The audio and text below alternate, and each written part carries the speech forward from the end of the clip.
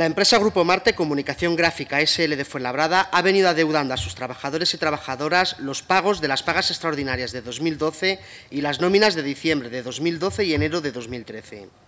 Además, esta empresa, que tenía 90 personas en plantilla, ha ido realizando despidos inferiores al 10% de plantilla cada vez y lo suficientemente espaciados en el tiempo para no ser considerados como un expediente de regulación de empleo. La representación legal de los trabajadores tiene constancia de amenazas verbales a trabajadores y a los propios representantes sindicales, sobre todo por parte del gerente de la misma, Juan José García Josa en los que desde la empresa se les ha comunicado que cerraría en caso de producirse denuncias o presencia sindical externa en la misma. Uno, mostrar al completo y total apoyo de la corporación local, de la corporación municipal, perdón, y de la ciudad de Fuenlabrada a los trabajadores y trabajadoras del Grupo Marte Comunicación Gráfica SL. Segundo, exigir a la empresa el pago de los atrasos y la apertura de una mesa negociadora para garantizar el futuro de la empresa y del empleo en la misma. Tercero, instar a la Inspección de Trabajo y Seguridad Social a abrir las investigaciones e informes oportunos para regularizar la situación de Grupo Marte Comunicación Gráfica SL. Cuarto, apoyar a los trabajadores y trabajadoras y a sus representantes sindicales en las acciones que promuevan en defensa de estos objetivos. Quinto, que se eleve a la Asamblea de Madrid para que la Consejería de Educación y Empleo de la Comunidad de Madrid medie y ponga fin definitivo al conflicto y garantice el futuro de los trabajadores y trabajadoras del Grupo Marte Comunicación Gráfica SL. Desde este Grupo Municipal expresamos nuestro total apoyo y solidaridad a los trabajadores del Grupo Marte y deseamos que este conflicto llegue a buen término. No puede ser de otra manera. Muchas gracias. El Partido Popular de Fuenlabrada estará apoyando siempre, y digo siempre, a los trabajadores de este municipio así como a los empresarios, que son quienes realmente generan el poco empleo que hay en esta ciudad. En segundo lugar, me da la impresión de que ustedes han traído una vez más una moción a este Pleno a sabiendas que no pueden ayudar a estos trabajadores, tan solo moralmente, para conseguir un puñado de votos. Para mí, nada nuevo en ustedes.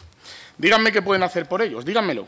Cuando ustedes invitan a una empresa de artes gráficas, en este caso de Griñón, a concursar por la licitación de, sí, sí, sí, en una empresa, una empresa que se llama Caroal, para realizar las impresiones del ayuntamiento. Yo lo que les propongo es que inviten a esta empresa también, que es una empresa ubicada en Fuenlabrada, con trabajadores de Fuenlabrada, para que si ganan el concurso es una forma también de ayudarles. No sé si ustedes han parado a pensar esto. Ha hecho usted una defensa muy cuestionable de los trabajadores de esta empresa. Parece que está usted defendiendo a, los empresarios en este caso. Lamentablemente estamos ante la situación de una empresa más de las miles, en el caso de Fuenlabrada y de la región de Madrid, que la crisis económica les ha eh, planteado un torpedo en su línea de flotación. Eh, esto está también facilitando que algunos empresarios sin escrúpulos, como puede ser, parece este caso, están eh, aprovechando además la reforma laboral impulsada por el Partido Popular para llevar adelante prácticas en materia de empleo, que son las que se describen en la moción y, por lo tanto, pues eh, me parece que es una moción oportuna que traeremos siempre y cuando veamos que podemos apoyar en este sentido a empresas radicadas en nuestro municipio y que estén en dificultades.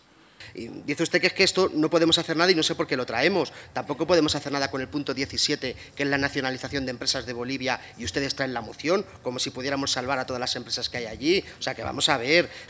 Y, si, en esta moción yo he venido aquí a defender a los trabajadores también. De hecho, vamos a votar a favor, fíjese si le vamos a defender. Voy más allá. Me hubiera encantado que ustedes, el Gobierno de Fuenlabrada, votaran a favor o trajeran una moción a favor de otros trabajadores que están en una situación económicamente desfavorable para con su empleador. Y son los funcionarios de policía y bomberos de este ayuntamiento a los que ustedes deben casi medio millón de euros y no les pagan aunque se lo diga la justicia. Mm, señor Bois, voy a empezar por, lo, por el final, ¿no? O sea, por la ¿Cómo puede comparar usted unos trabajadores que tienen en riesgo el tema laboral con los funcionarios locales?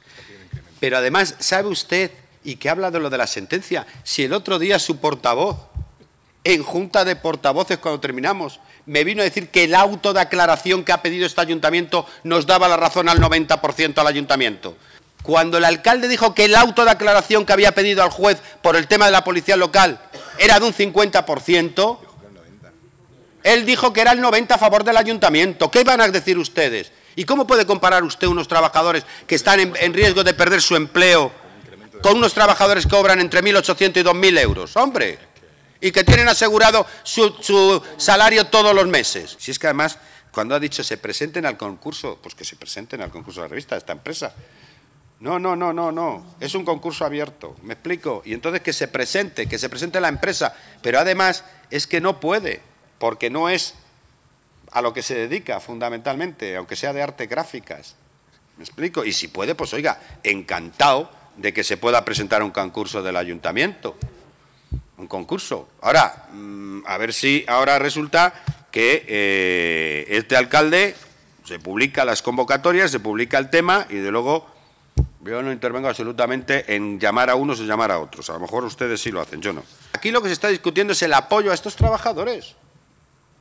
Y usted ha hecho una intervención, vamos, que yo soy la parte de los trabajadores, digo, pero ¿qué ha dicho el portavoz del Partido Popular en esto? ¿Para quién ha hablado? ¿Para su grupo o para esos trabajadores? Apoyo total.